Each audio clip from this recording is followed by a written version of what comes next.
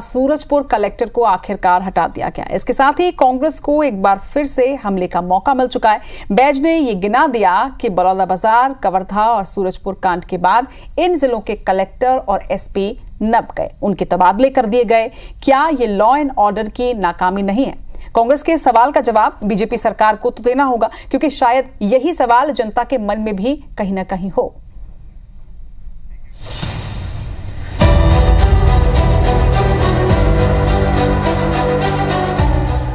पहले बलौदा बाज़ार, फिर कवर्धा और अब सूरजपुर। जहाँ जहाँ उपद्रव हुआ, हिंसा हुआ एंड ऑर्डर पर सवाल उठे, पुलिस और प्रशासन कटघरे में खड़ा दिखा। उन जिलों के कलेक्टर और एसपी पर गाज भी गिरी।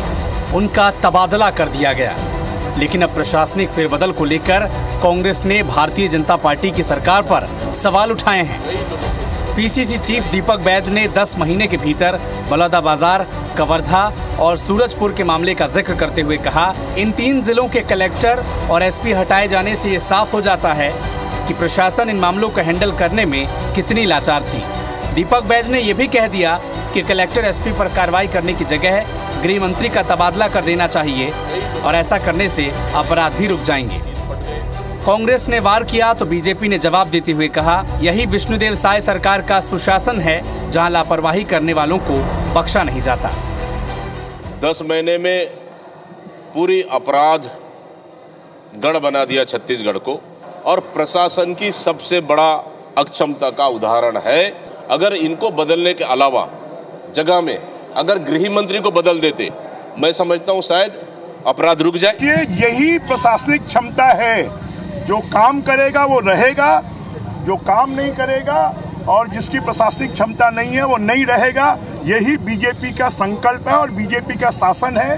इसलिए अधिकारी कर्मचारियों को ये समझ लेना चाहिए।